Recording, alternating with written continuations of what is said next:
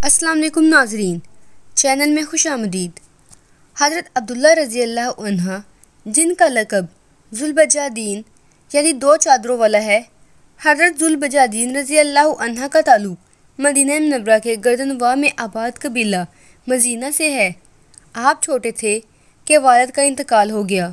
वालद ने विरासत में कोई माल नहीं छोड़ा। चचा मालदार था, लिहाजा उसने आपकी कफालत और परवरिश की। यहाँ तक कि आप भी मालदार हो गए। नबी करीम सल्लल्लाहु अलैहि वसल्लम हिजरत करके मदीना तशरीफ़ लाए तो आपका दिल दीन इस्लाम में दिलचस्पी लेने लगा। लेकिन चचा की वजह से कबूल इस्लाम की ताकत ना थी। यहाँ तक कि कई साल गुजर गए।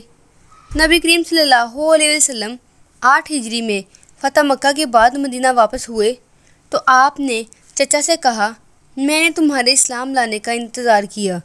लेकिन मेरा ख्याल है कि तुम मोहम्मद अरबी सल्लल्लाहु अलैहि वसल्लम की खिदमत में हाजिर नहीं दोगे। मुझे इस्लाम लाने की इजाज़त दे दो।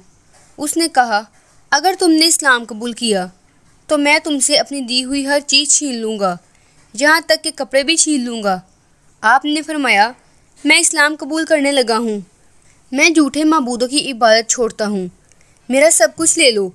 चचा ने आप रज़ी अल्लाह अनहा के कपड़ों समेत सब कुछ छीन लिया।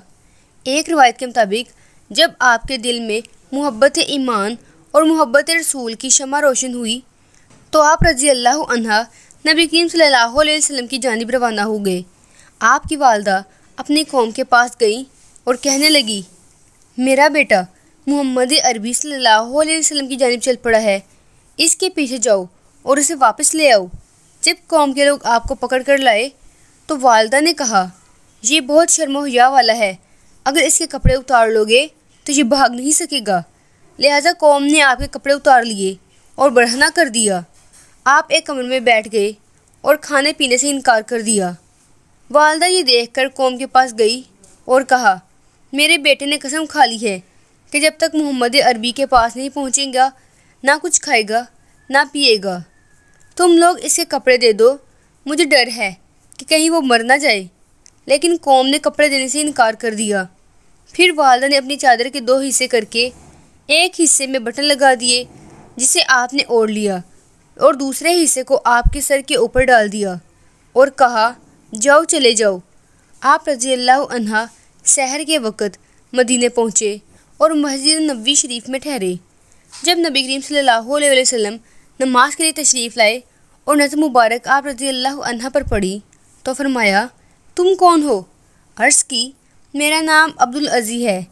मैं फ़कीर और मुसाफिर हूँ। आपकी मोहब्बत में गिरफ़्तार हूँ। आपकी सोहबत में रहना चाहता हूँ। इशात फरमाया, तुम्हारा नाम अब्दुल्ला और तुम्हारा लकब जुलबजादीन है। हमारे घर के करीब हमारे पास रहा करो। नमाज़ फ़जर के बाद जब सूरज तलू हो जाता तो आप रज़ी अल्लाह खड़े हो जाते और जब तक अल्लाह चाहता, आप नमाज़ पढ़ते रहते। फिर नबी करीम सल्लल्लाहु अलैहि वसल्लम की बारगाह में हाजिर होते और सलाम अर्ज़ करते, फिर अपनी रिहाइश की तरफ़ चले जाते। आप रज़ी अल्लाह ने सोहबत रसूल को अपने ऊपर लाजिम किया हुआ था। रहमत आलम सल्लल्लाहु अलैहि वसल्लम आपको कुरान सिखाया करते थे। यहाँ तक कि आपने बहुत सा कुरान पढ़ लिया। आप मस्जिद नबी में क्याम करते और बुलंद आवाज़ तलावत करते थे। एक मरतबा हत उमर रज़ी ने अर्ज़ की यरसोल्ला सल्लल्लाहु अलैहि क्या आप इस अराबी देहाती को नहीं सुन रहे कि बुलंद आवाज़ से करात करता है और दूसरों को तलावत कुरान से रोक देता है? रहमत आलम सल्लल्लाहु अलैहि ने फरमाया, उमर, इसे छोड़ दो। इसने अल्लाह और उसके रसूल की तरफ़ हिजरत की है। एक रवायत में है कि उमर रज़ी अल्लाह ने बारगाह रसालत में सवाल किया, क्या ये रियाकार दिखावा करने वाला है? इर्शाद फरमाया, तुम इसे छोड़ दो। ये अवाहीन है, यानी गिरा उजारी करने वालों में से है। सन नौ हिजरी, माह रजब में हजूर अक्रम सल्लल्लाहु जंग तबूक के लिए रवाना हुए तो आप भी मुजाहिदीन में शामिल होकर चल पड़े और दरख्वास्त की।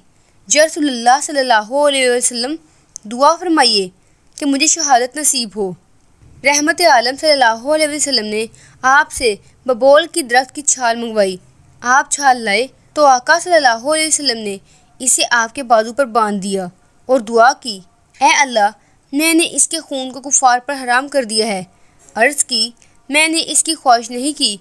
इशात फरमाया, जब तुम जहाद के लिए निकलो, अगर बुखार में फोत होगे, जब भी तुम शहीद होगे, अगर तुम्हारा जानवर तुम्हें गिरा कर तुम्हारी गर्दन तोड़ दे तो भी तुम शहीद होगे। कोई हर्ज नहीं कि शहादत किस तरह मिले। खुदा पाक का करना ऐसा हुआ कि रसोल्ला अलैहि वसल्लम ने मुकाम तबूक पहुँच कर तकरीबन बीस रातें दुश्मन का इंतज़ार किया। वहीं हज़रत जुलबिजादीन को बुखार चढ़ा और अपने खाले के हकीकी से जा मिले। दोस्तों, अगर वीडियो अच्छी लगी हो तो हमें सपोर्ट करने के लिए हमारे चैनल को ज़रूर सब्सक्राइब करें।